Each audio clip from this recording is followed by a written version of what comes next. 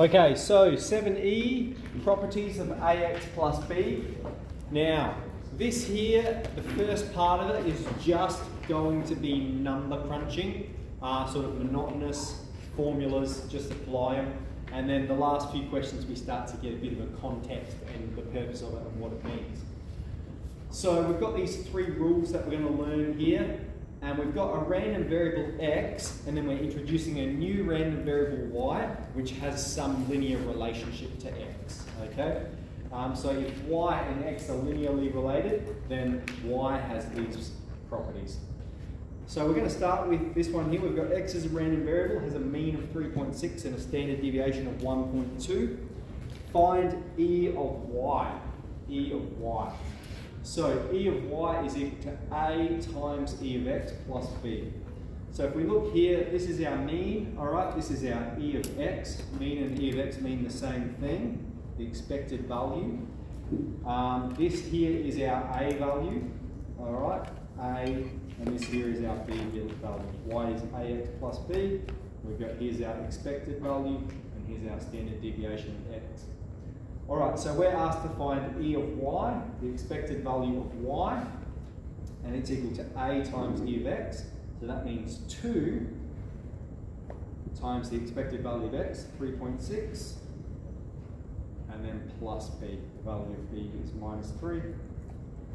So that's going to be 7.2, take away 3, 4.2. Okay? So y, the random variable y, is linked to x, such that the expected value is 4.2. Okay, move on to the variance. All right, the variance of y is going to be a squared times the variance of x. So that's going to be 2 squared in our circumstance, multiplied by the variance of x. Now we don't have the variance of x, but we do have the standard deviation of x and the variance is equal to the standard deviation squared, right? So can someone type that in for me?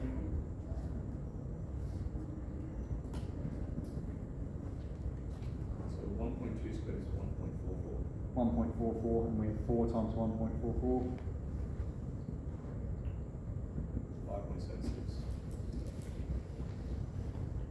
And then for the standard deviation of y it's equal to, now this symbol here, hopefully we've seen it before, but it means the modulus, it means the absolute value, means the size, the magnitude.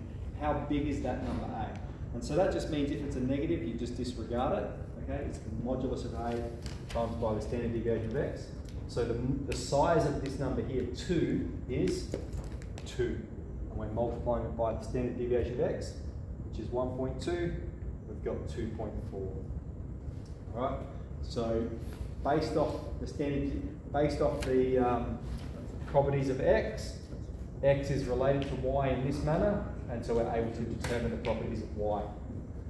All right, I'll rub that out. So that's what you're starting with. You're starting with some number crunching.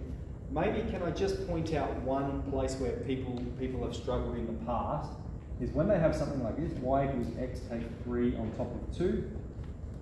All right, the best way to think about it is that it's half x, take 3 on 2. Alright, so the value of a is half, the value of b is minus 3 on 2. So always think like that.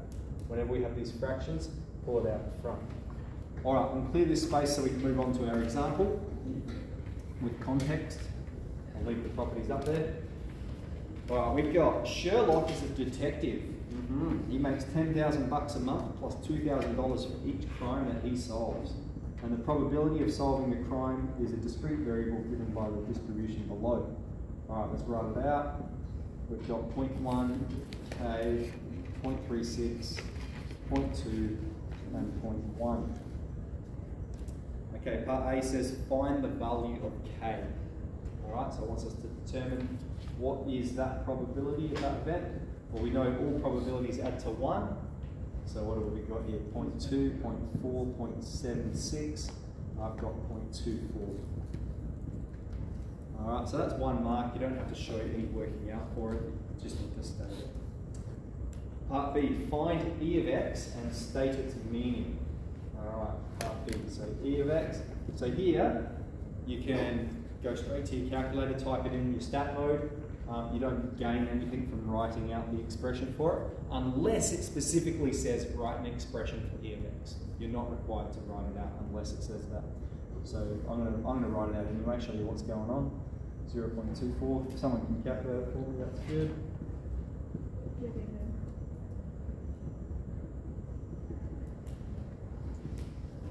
Point seven two, point six, point four, two four.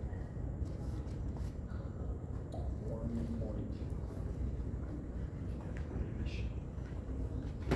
Do it point four, that's one. One point seven two. One point nine six. Is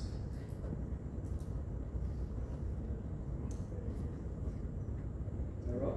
What a calculator's for. yeah, that's it. AI. 1.96.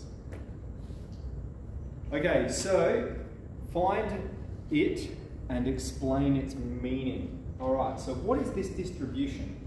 Here we have the possible events. What are the possible events? The number of cases that he's going to solve. He's got a probability of 0.1 of solving zero cases, a probability of 0.24 of solving one case. So what we've got here is the expected number of cases he will solve per month. On average, Sherlock solves 1.2, 1.96 cases per month.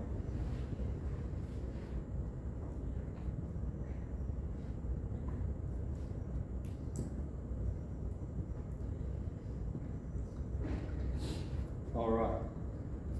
Okay, here's where we make the link. Let Y be the amount of money that Sherlock earns per month. Express Y in terms of X. So it says he earns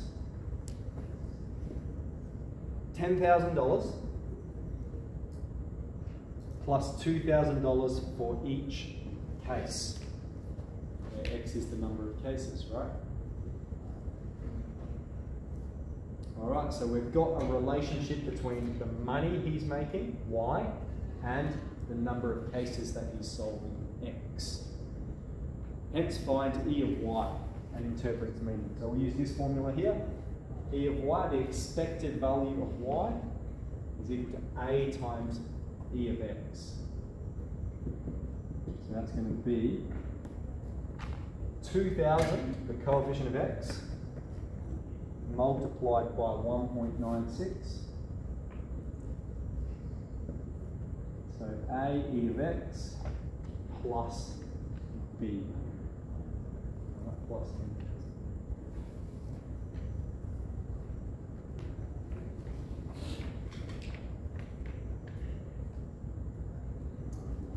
So, what's that? 1960. three, nine, four, Two. two, plus 10, 13. Okay, what does it mean? It's how much he can expect to make per month on average. All right, so the variable x, how many cases he's solving per average, and based off that, how much he's making uh, in terms of money per average. So we'll start off some fairly basic uh, formula